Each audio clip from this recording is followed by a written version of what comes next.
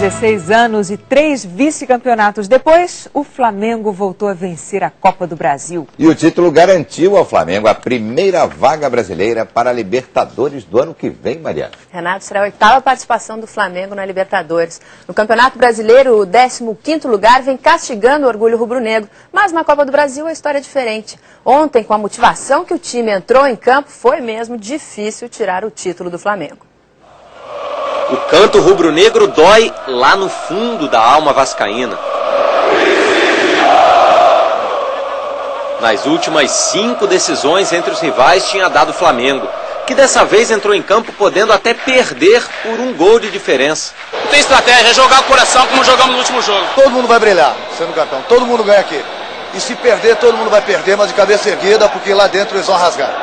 Não ficou claro, mas deveria ser uma metáfora do técnico do Vasco. Lá dentro eles vão rasgar. O atacante Valdir Papel confundiu vontade com violência. Aos 15 minutos do primeiro tempo, por essa falta em Leonardo Moura, levou o segundo cartão amarelo no jogo. Foi expulso. No minuto seguinte, Moraes obrigou Diego a fazer uma difícil defesa. Mas logo a vantagem numérica, técnica, psicológica transformou-se em vantagem no placar para o Flamengo. Jogada pela direita do ataque, Leonardo Moura avançou, arriscou o chute. A bola sobrou para Juan. De primeira, o lateral esquerdo acertou o canto de Cássio. Do outro lado do campo, o goleiro Diego abriu os braços. Abriu o sorriso de quem sabia que o título não escaparia mais. Não escaparia porque quem teoricamente não precisava continuou no ataque. Obina quase marcou dele. Cássio não deixou. Jonatas enfileirou os adversários e quase fez um golaço.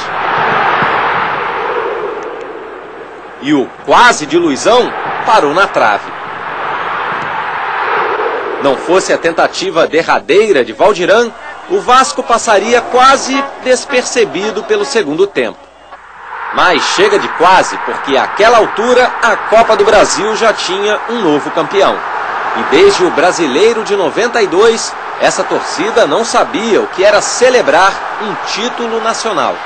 Amanhã não tem ninguém, hora pra acabar. Volta pra Brasília quando? Volta amanhã com o Flamengo bicampeão! Campeão! Para quem esperou 14 anos, uma noite é pouco para comemorar. O Flamengo volta a conquistar um título nacional e a se classificar para uma competição internacional. No ano que vem, o rubro-negro estará na taça Libertadores da América. Não tenho o que explicar ser campeão da Copa do Brasil. Do jeito que foi, né? E na comunhão do título, torcedor e jogador ajoelhados, lado a lado, se confundem. Não tem nada melhor do que isso. É isso aí. Não tem nada melhor. Valeu, Vocês se conhecem? Eu sou um torcedor. Então, o trabalho, o dia a dia deles, só nós que convivemos sabemos. É dificuldade, Getúlio. Todo dia, é isso aí. Eles acham que é fácil. Não, por dia. Não é. É nós que pagou, é, é a família. É tudo nosso, cara. Pena que alguns insistam em não aprender que o futebol é uma festa. Brigas entre vencedores e a polícia. Entre vencidos e a polícia.